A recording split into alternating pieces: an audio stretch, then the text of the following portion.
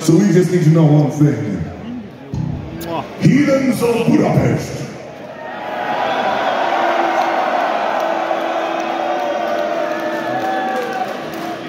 Heathens of Budapest.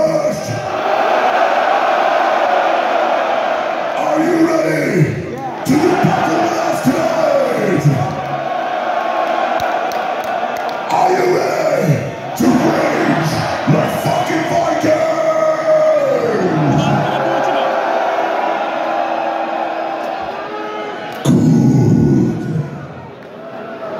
Then you truly are the great heathen army!